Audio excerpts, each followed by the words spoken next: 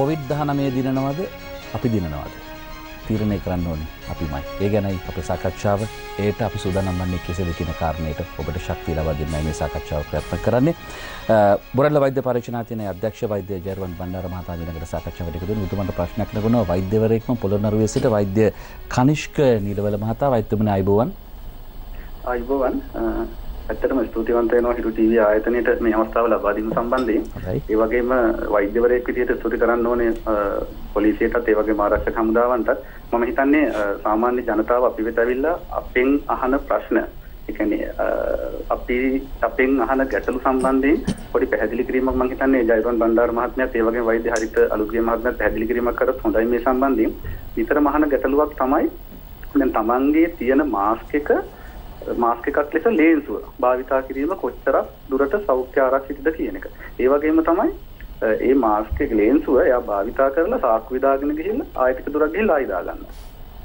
ඒක එකක්. ඊළඟ ඊළඟ එක තමයි දැන් අපි භාවිතා කරන සර්ජිකල් මාස්ක් එක අපි දාගෙන ඉඳලා ටිකක් තේ එකක් බොන්න හරි මුඛට හරි ඔක බෙල්ලට දාගෙන ආයෙ දාගන්න. කටට මේ කොච්චරක් දුරට ආරක්ෂිතද? ඒ වගේම තවත් සාමාන්‍ය ජනතාවෙන් සාමාන්‍ය ප්‍රජාවෙන් අපෙන් අහන ගැටලුවක් තමයි මේ මේ COVID-19 මෙම රෝගය පැතිරී යන අවස්ථාවේ සාමාන්‍යයෙන් රෝහලකට ඇතුළත් වෙන රෝගියෙකුට සාමාන්‍ය ප්‍රතිකාර ක්‍රම සාමාන්‍ය පරිදි සිද්ධ වෙනවාද කියන ගැටලුව.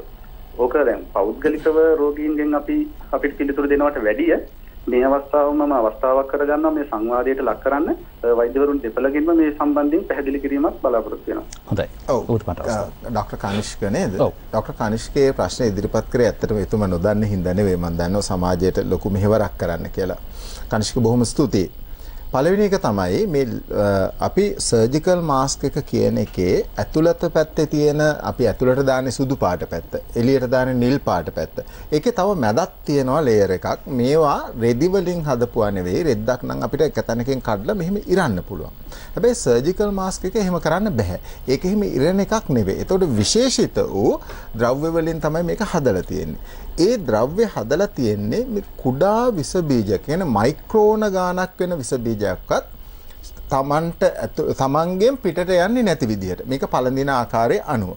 ඒ නිසා මේ සර්ජිකල් මාස්ක් එකකින් එන ආරක්ෂාව අපිට සාමාන්‍ය රෙදි කඩකින් එන්නේ අපි දන්නවා රෙදි කඩක අපේ තියෙන නූල් එකිනෙක වියලා. හරියට මෙන්න මෙහිම ඇඟිලි ටික තියුවාම තියෙන හිල් වගේ මේක ඇතුලේ හිල් තියෙනවා. ලොක් කරලා බලන කණ්ණාඩියකින් බැලුවා. එතකොට ඒ සර්ජිකල් මාස්ක් එකෙන් වෙන්නේ නැත් වෙන තරම්වත් ආරක්ෂාවක් අර ලෙන්සුවෙන් වෙන්නේ නැහැ. ලෙන්සුවෙන් ඇතුලේ තියෙන විස බීජ සෙම බින්දිති එළියට යනවා. එළියේ තියෙන අපද්‍රව්‍යත් ඇතුළට එනවා. හැබැයි ලොකු පාටිකල් අපි දන්නවා ඊයන් කෑලි වාහන දුම වලින් එන ඒවා පරිසරයේ තියෙන දූවිලි ඒ වගේන් වළක්ව ගන්න පුළුවන්කමක් තියෙනවා සුදේව. ඊළඟ කාරණය තමයි වර්තමානයේ දැන් සාමාන්‍යයෙන් කියවුණු කාරණයක් තමයි මා වැරදි නම් නිවැරදි කරන්න කොවිඩ් වෛරසය කියන වෛරසය ටිකක් විශාලයි කියන කාරණේ. ඒක සත්‍යක්ද? ඒ වුණත් මේ අර රෙද්ද රෙද්දි කඩකින් හදපු මාස්ක් එකකින් ඒක වෛරස් එකට යනවායි කියන එක ලොකු කාරණාවක් නෙවෙයි. අනිත් එක තමයි එළියේ තියෙන කොවිඩ් වෛරස් එක ඇතුළට සර්ජිකල් මාස්ක් එකෙන් අපි හුස්ම ගන්නකොට අපි හුස්ම බලෙන් ගන්න. අපි නෙගටිව් ප්‍රෙෂර් එකක් එහෙම නැත්නම් පෙනහළු ඇතුලේ ප්‍රෙෂර් ග්‍රේඩියන්ට් එකක් හදනවා. ඒකින්ද අපි බලෙන් හුස්ම ගන්න. එතකොට ඒක හරහා COVID-19 වලින් සර්ජිකල් මාස්ක් එක පරිසරයේ COVID-19 වලින් 19 වලින් ආරක්ෂා වෙන්න ප්‍රමාණවත් නැති බව තමයි විද්‍යාත්මක මතය. හැබැයි අපි දන්නවා රෝගීන්ට ප්‍රතිකාර කරනවා මේ ICU ඇතුලේ. එහෙම නැත්නම් ඒ වගේදී අර රෝගියාගෙන් අපේ සෞඛ්‍ය සේවක මහත්මයාට හව හෙදියට හෝ වෛද්‍යවරයට හෝ ඒ උදව් කරන අනිත් සේවක මහතුන්ට වැළඳෙන්නේ නැති වෙන්න අපි භාවිතා කරන මාස්ක් එක වෙනස්. ඒකට කියන්නේ N95 වර්ගය කියලා. ඒවා ඒ මාස්ක් එකෙන් තමයි පරිසරයෙන් නැත්නම් රෝගීන්ගෙන් අපිට මේ වෛරස් එක බෝ වෙන්නේ නැත්තේ. තව එකක් තමයි ඩොක්ටර් කනිෂ්ක ඇහුව කාරණේ මේ සර්ජිකල් මාස්ක් එක පහත් කරලා අපහු දාගන්න එක ආරක්ෂිතද කියලා. කොහෙත්ම නැහැ. එහි ආරක්ෂිත බවක් ඇත්තේ නැහැ. මේ මාස්ක් එක පහත් කරනකොට ඉහළට දානකොට අර එළියේ තියෙන විස බීජ ඒ මාස්ක් එක පුරාම ගෑවෙන්න පුළුවන්. අනිත් එක ඒවා අපේ මූණේ ගෑවෙන්න පුළුවන්. දැන් මාස්ක් එක මෙහෙම දාන් ඉන්න පහළට කළා මෙහෙම දාගන්න. එතකොට මේකේ පිටපැත්තේ තියෙන සේරම මූණේ ගෑවෙනවා.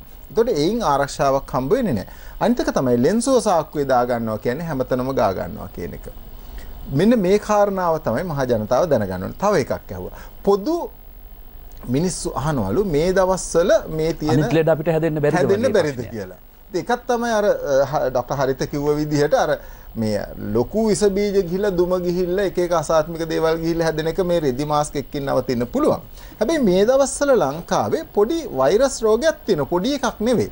මේ දවස්වල වෛරස් රෝග තියෙනවා. පහුගේ දවස්වල මමත් මේකෙන් පීඩාවට පත් වෙලා හිටියා. එකක් තමයි උගුර කහනවා. අනිත් එක නාහේ බ්ලොක් වෙනවා වගේ කිවිසුම් යනවා. ඔළුව බර ගතිය පොඩි උණක් වගේ තියෙන පුළුවන්. මෙහෙම වෛරස් රෝගයක් මේ දවස්වල මේ රටේ පැතිරෙමින් පවතිනවා. හැබැයි අපි අමතක කරන්න හොඳ නෑ.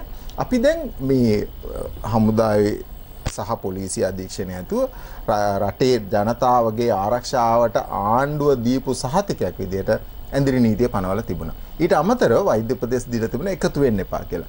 ඔබට විශ්වාස නම් පහුගිය දවස් 10 ඇතුළත සතිය ඇතුළත ඔබ සමාජයට ගිහිල්ලා අනාරක්ෂිතව ගැවසුනේ නැහැ කියලා.